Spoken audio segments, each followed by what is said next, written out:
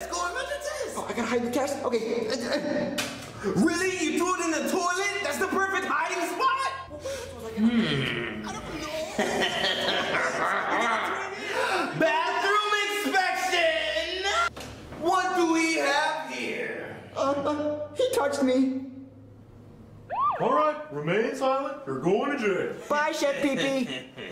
Thank you, Mr. Steinbeck, for saving me from that child molester.